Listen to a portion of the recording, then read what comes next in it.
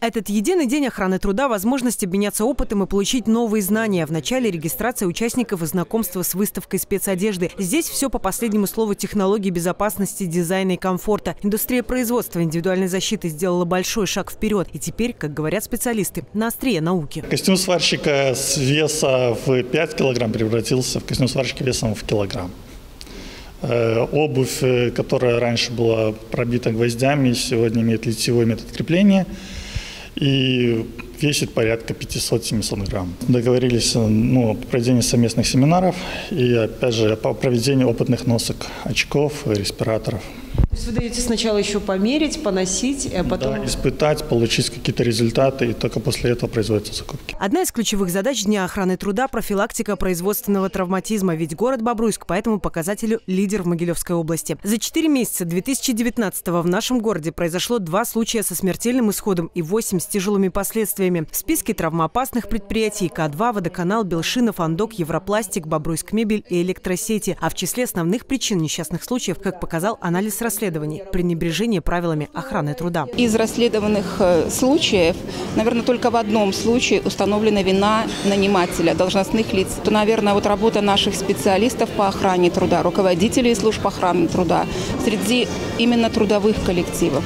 Надо донести до каждого человека о том, что он в первую очередь сам ответственен за свою безопасность. В прошлом году несчастный случай произошел на предприятии «Эковерпром». 27-летний парень лишился кисти руки. Как позже показалось, показало расследование, рабочий нарушил требования охраны труда. Для предприятия это ЧП стало большой проблемой и потрясением, ведь на заводе пристально следят за безопасностью. Обучение персонала у нас проходит довольно серьезно, у нас квалифицированные кадры.